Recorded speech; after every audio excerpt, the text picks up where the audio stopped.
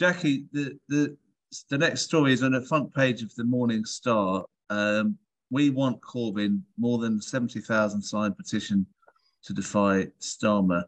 Uh, I know John is, uh, I, if I'd asked John about this, he'd his, his temperature would have gone up because um, he's not fan on petitions. But what do you think about this as a, an idea? I do love the way you've posed me as the temperate voice here.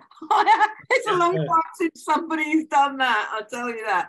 But um, okay, so 70,000 people signed this petition. The I was amongst one of those. But I have to admit, I feel mixed about this because it's about restoring the whip and getting him back into, you know, properly being a Labour candidate.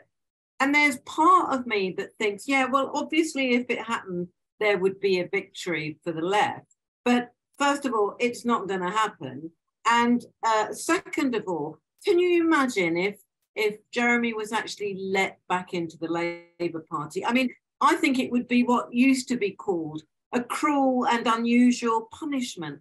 I mean, the, the horror of the idea of this poor, you know, poor bloke, the, like I've said, the nearest thing to a vegetarian vicar that the Labour Party has actually ever had, going into these den of thieves and frauders and, and bullies and worse, just, just kind of makes you want mm. to weep. But there's another story behind this, isn't there, which is about the whole way, and it links to it actually links to what John was saying before. This is the gerrymandering of who's going to be MPs and who is going to um, actually represent Labour. And this is not just counter democratic, it's anti democratic, because now what we see very plainly is the Labour Party has absolutely no democratic base for what it does.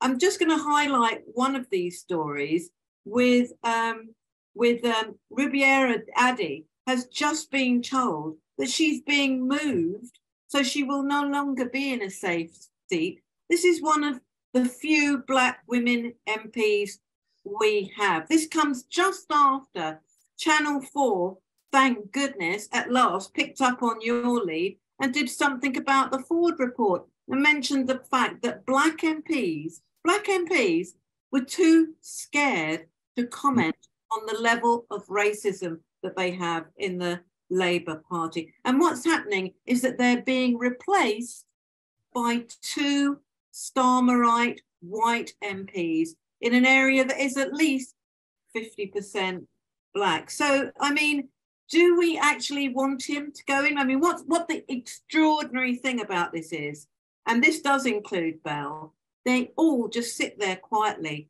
waiting to be picked off one by one. When is it going to get through to their head that this strategy isn't working?